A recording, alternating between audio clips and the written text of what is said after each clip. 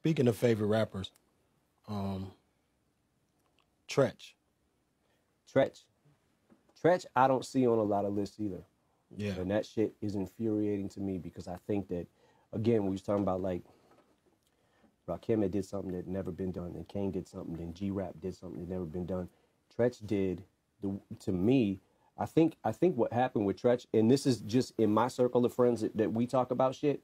One of the common things said is, well, he did OPP and he did Hip Hop Hooray, Right, right, but he was still rhyming his ass off on those songs, right? right. but he also did something to me in my opinion that like his there was a time period probably between 91 and about 95 where every fucking damn near every rapper in the game was try- was following him Right. and trying to do what he was doing Absolutely. dressing like him Do- Yep. you know what i'm saying the whole the whole shit moving Yeah. like him Exactly. And he was getting on fucking songs and smoking everybody Man. and it was like, yo, when I heard Yoke the Joker, my fucking heart sank. My heart sank because I was like, I'm never gonna be this good. wow. I might as well quit. I didn't write a rhyme for the entire summer. I said this on the Ice T documentary, but this is real shit. I didn't write for an entire summer. And proof was like, proof was like, yo, man, he's good, but you gotta keep Yeah. like, you know what I'm saying? Right, and I was just like, "Ah, but I'll never be that good. By the time it got to Wickedest Man Alive, Mm. I was like, I, I quit. I don't want to do this anymore. you got a favorite Treach verse? I got a lot of favorite Treach verses. My my my. When I heard him do the, when I heard him yoke the Joker, when he was like, "Oh, fuzzy, dirty, dizzy, duzzy, get the fix he needs." Remember how blistery? You ain't ready for the Freddy you rap. He can't kill me. I step into your dreams, you feel me, slicing your life away, just like my mic today. I eat you the psycho way. I'm ripping shit right away. Man, he was ki- yo. Treach.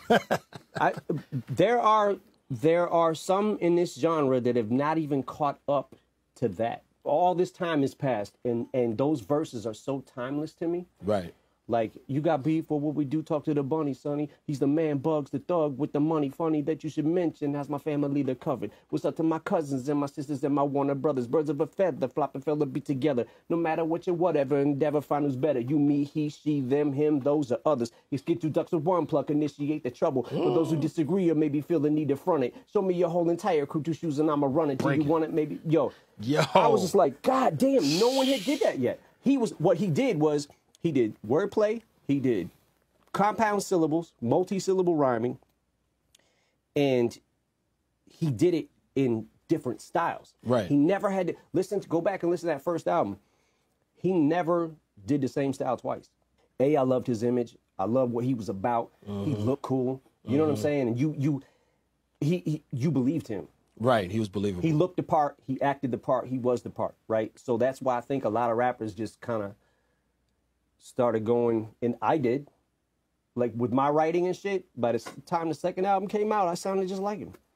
Mm. I sounded just like Treach. I, I sounded like Kool G Rap. Like there's so many eras that I sounded like other rappers. You know what I'm saying? But like it, it's what we do when we're kids. yeah, right? we get we get influenced. Yeah. You know what I mean? And we're inspired.